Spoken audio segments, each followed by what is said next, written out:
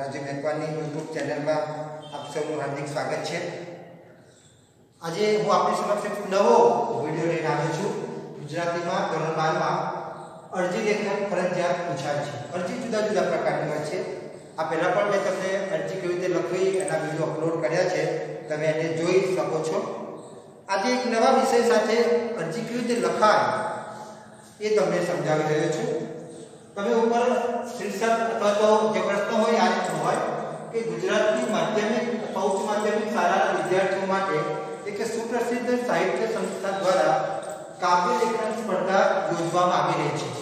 તેમાં તમારું મૌલિક કાવ્ય ટપાલ દ્વારા તમે મોકલી રહ્યા છો, એ બાબતની અરજી લખો.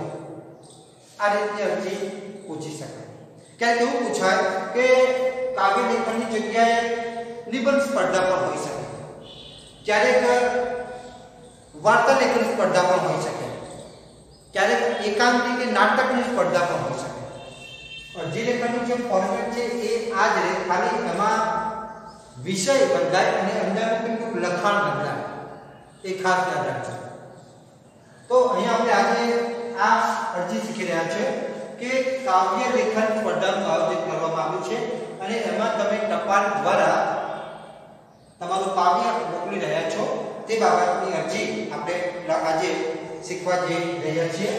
તો મેં તમને જે જૂના મારા વીડિયો છે, એમાં તમે જોયું હશે કે અરજીનું ફોર્મેટ હું દર વખતે બતાવું છું. જે વિદ્યાર્થી પહેલી વખત જોતા હશે, એમના માટે પણ આજે થોડી મિનિટમાં અરજી કઈ રીતે લખવી એની ચર્ચા કરી લો તમે સમજો, મેં તમને સમજાવ્યું છે કે આ રીતનું તમારું જે ઉત્તર રહી હોય એ આ રીતનું હોય છે બરાબર? કે એમાં અહીંયા તમારું નામ લખવાનું હોય છે, એક સીધી નામ આવવું જોઈએ તમારું. બરાબર? અહીંયા પરિણામ જે નામ પછી પરિણામ આવે, આજુબાજુના ફળ પછી પરિણામ આવે, બરાબર? ગામનું નામ હોય, ત્યાં પૂર્ણવિરામ તાલુકા જિલ્લાનું નામ હોય, ત્યાં પૂર્ણવિરામ તારીખ લખવાની છે. આ તો તમને યાદ છે, બરાબર? બીજું કે તમે કોની અરજી મોકલી રહ્યા છો, એનું સરનામું અહીંયા લખવાનું હોય, તો પ્રતિશ્રી કઈ અલ્પવિરામ જે તે નો મુદ્દો લખવાનો હોય, અથવા નામ લખવાનું હોય, સરનામું લખો ત્યાં અલ્પવિરામ હોય અને ગામનું નામ લખો ત્યાં પૂર્ણ તમે જ્યારે વિષય લખો છો ત્યારે અહીંયા તમારું મામલો વિશે આવી જવું જોવું જોઈએ. બરાબર?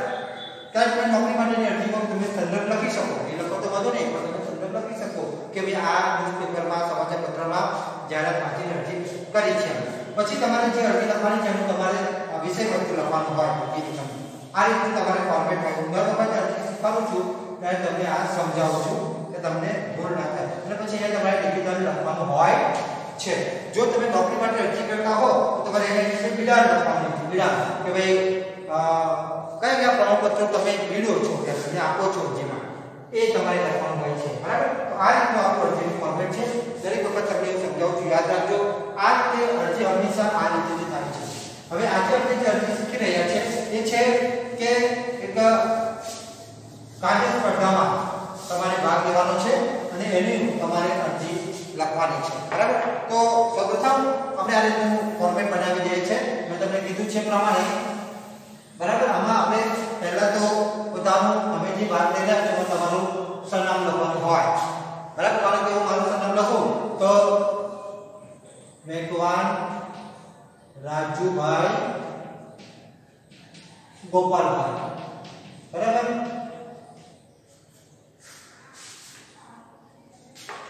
મેકવાન રાજુભાઈ ગોપાલભાઈ હવે આ વખતે તમારે તમારે યાદ રાખવાનું છે કે આ પાનમાં આપણું આવી જવું જોઈએ. લખા પછી લખ્યા પછી તમારે અલ્પવિરામ કરવાનું છે. યાદ રાખજો. બરાબર? પછી હું લખું અહીંયા સિમ્પ્લિટીમાં લખાણ આવવું જોઈએ મારે ઘરે સૂચન આપું છું, વિદ્યાર્થી મિત્રો, કે આપણું આપણી અરજી એ આપણે વ્યવસ્થિત લખાણ હોવું જોઈએ બરાબર? તો મેકવાન રાજુભાઈ, ગોપાલભાઈ, પછી તમે અહીંયા સરનામું નીચે રીતે લખવાનું છે કે ભાઈ અંબિકા સોસાયટી અંબિકા સોસાયટી, પછી અલ્પવિરામ મૂકવાનું છે ગામનું અથવા તો અહીં લખો તો લખાય કે ભાઈ ક્યાં આવ્યું? તો કે ગાયત્રી મંદિરની પાછળ. તો એ લખાય કે ગાયત્રી મંદિરની પાસે પાસે. બરાબર? ચાલો. પછી લખાય અલ્પેરા મૂકવાનું છે પછી લખો ગામડી. ગામનું નામ આપી કે ગામડી. પછી વિરામ અને ત્યારબાદ લખવાનું છે અહીંયા તાલુકો, જિલ્લો, આણંદ. અને પછી અહીં લખવાની છે તારીખ. લખો તમે આજે. બરાબર? કે 23 9 2020 એટલે લખીશું આ તમારું પહેલું ફોર્મ પૂરું તમે જોઈ શકો છો કે અહીંયા મેં એક સીધી લખ્યું છે. તમારે ક્યાંય આગળ પાછું જવાનું નથી. આ તમારું તમારું પોતાનું સરનામું થવું છે. બરાબર? ત્યારબાદ તમે અરજી કોને મોકલી રહ્યા છો? એ ખાસ. એ પણ એ લીટી આવવું જોઈએ. તમારે જે ઉત્તરની આન્સર છે બરાબર? ઉત્તરની છે તમારે આ અંદર લીટીઓ પાડી લેશે બરાબર?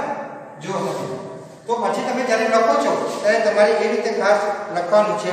જેમ કે એ લખવાનું પ્રતિ બરાબર હવે આપણે સાહિત્ય સંસ્થા છે તો કોઈનું નામ હશે બરાબર તો આપણે નામ લખીએ કે પ્રતિ તો લખીએ કે શ્રેયસભાઈ ચાલો પ્રતિ શ્રેયસભાઈ બરાબર એવું લખી શકાય છે તમે કોઈ પણ નામ લખી શકો પછી એ જે શ્રેયસભાઈ છે એનો કોઈ હોદ્દો હોય તો સંસ્થાનો હોય તો ભાઈ લખીએ કે સેક્રેટરી બરાબર એ રીતે તમે એનું લખાણ લખી શકો છો અને લખાય કે ગુજરાત સાહિત્ય સંગમ અથવા તો ગુજરાતી સાહિત્ય સંગમ. આ સંસ્થાનું નામ છે, બરાબર? અને ત્યારબાદ લખો અમદાવાદ. બરાબર?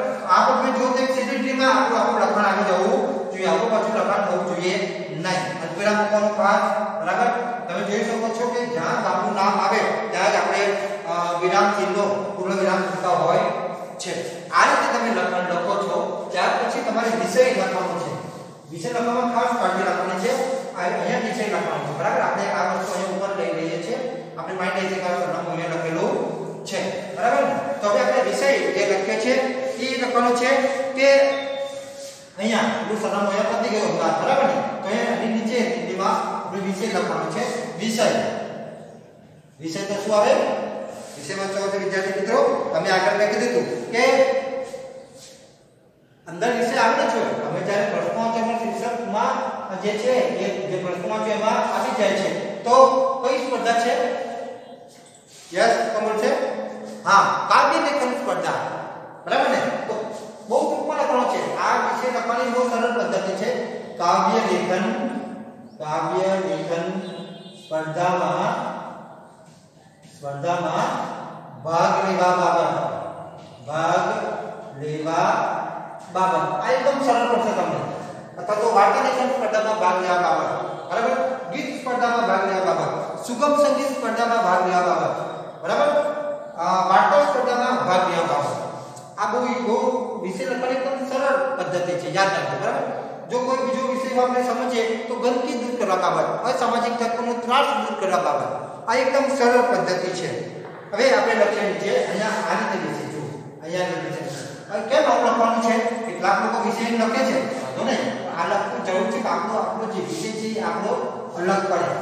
બરાબર જો, મેં લખાણ પછી જે છે એ અહીંથી લખ્યું છે, અહીં નથી આવ્યું, અહીં નથી આવ્યું, હાસ્ય દૂર છે આપણું, બરાબર? એટલે આ વિષય આપણો અલગ પડે, એટલા માટે આ રીતની યોગ્ય પદ્ધતિ એની છે. હવે આપણે જોઈએ કે સંબોધન તો આપણે આવ્યું પણ આપણે સાહિત્ય સંસ્થા છે એટલે આપણે માનનીય શ્રી અથવા તો આદરણીય શ્રી લખો ચાલો, આપણે અહીં લખીએ, આદરણીય શ્રી. બરાબર? આપણે આગળ નામ શું લખ્યું યાદ છે તમને? કે શ્રેયસભાઈ. બરાબર? આ રીતે તમારે લખાણ લખવાનું છે. અને અહીંયા પાછું અલ્પવિરામ મૂકવાનું છે. હવે તમે અહીંયા આવું લખી શકો. સાદર પ્રણામ લખો આવું પણ લખાય અથવા આવું ના લખવું હોય તો તમે એવું લખી શકો નમસ્કાર પણ તમે લખી શકો કોઈ પણ શબ્દ પ્રયોગ કરી શકો સાદર પ્રણામ અથવા નમસ્કાર તમે કોઈ પણ વસ્તુ મૂકી શકો છો બરાબર હવે આ આ રીતે લખવાનું છે પછી અહીં લખવાનું છે, તમારે લખવાનું છે કે, હવે ડાયરેક્ટ આપણે અર્થની શરૂઆત કરીએ છીએ, ખાસ જણાવવાનું કે સાંભળો જોઈ બોલું છું, ખાસ જણાવવાનું કે, અમારી શાળાના નોટિસ બોર્ડ ઉપર મેં એક પરિપત્ર વાંચ્યો હતો. એ પરિપત્રમાં આપની સંસ્થા દ્વારા ઉચ્ચતર માધ્યમિક વિભાગના વિદ્યાર્થીઓ માટે કાવ્ય લેખન સ્પર્ધાનું આયોજન કરવામાં અને તેમાં કાવ્ય દસ દિવસમાં ટપાલ દ્વારા મોકલવાનું જણાવવામાં આવ્યું છે.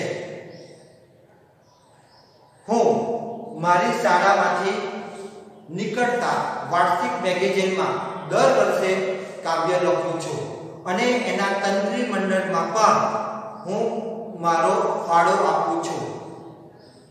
દર વર્ષે અમારી શાળામાં કાવ્ય લેખન સ્પર્ધા યોજાય છે, તેમાં હું પ્રશંસનીય દેખાવ કરું છું અને છેલ્લા ત્રણ વર્ષથી મારી શાળાની કાવ્ય લેખન સ્પર્ધામાં મારો પ્રથમ નંબર આવેલો છે.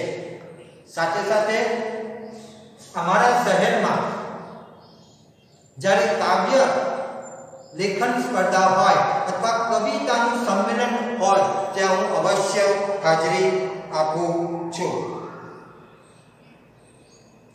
મને આપની સંસ્થા દ્વારા કાવ્ય સ્પર્ધા યોજાય છે, એમાં ભાગ લેવા માટે પસંદ કરશો અથવા તો હું ભાગ લઉં છું, એમ પણ લખી શકાય.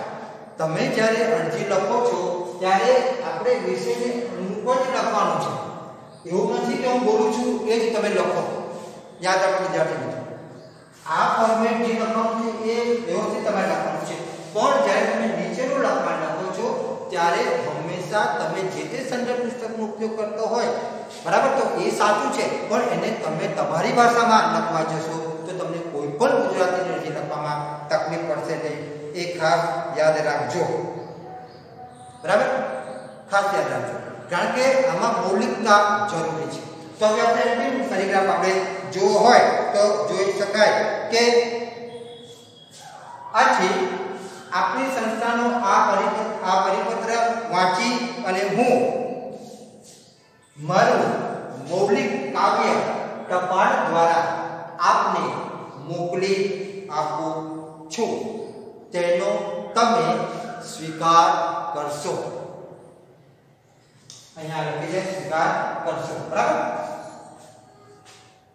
વચ્ચેનું જે લખાણ છે, એમાં તમે જ્યારે પેરેગ્રાફ પાડો છો, તે પણ એક એક નીચે એક લીટીમાં તમારે પાડવાનું છે. બરાબર? યાદ રાખજો. પછી તમે જ્યારે બીજું પેરેગ્રાફ પાડો છો, તે પણ નીચેની લીટીમાં પાડવાનો છે. હવે જે નંબર લખવાનું છે મેં તને મેં આપ સૌને સમજાવી દીધું છે. બરાબર? એટલે મગજમાંથી એક વસ્તુ કાઢી નાખો તમે કે મને અરજી લખતા નથી આવડતું. અરજી લખવાનું બહુ સહેલું છે. માત્ર તમારે ફોર્મેટ જે બતાવ્યું છે, ધ્યાન રાખવાનું છે. અને વચ્ચેનું લખાણ તો તમને લખતા આવડે જ. એકસો ને દસ ટકા આવડે, એમાં કંઈ કશું અઘરું નથી. બરાબર?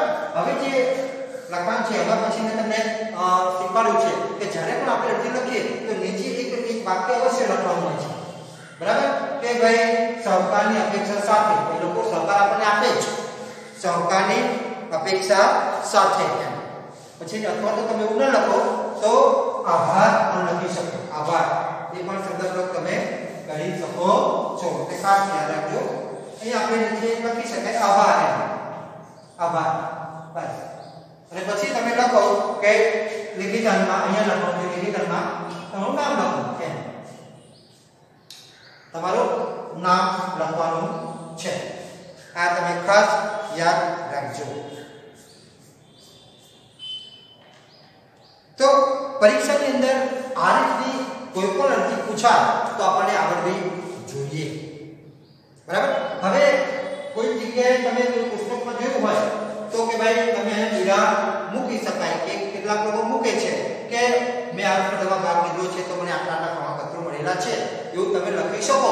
નહીં લખો તો પણ વાંધો નહીં. લખો તો સારું. તમે વિરામ લખી શકો કે ભાઈ આ શાળાની સ્પર્ધામાં આ વર્ષે મને પ્રમાણપત્ર મળ્યું. એ તમે લખી શકો છો.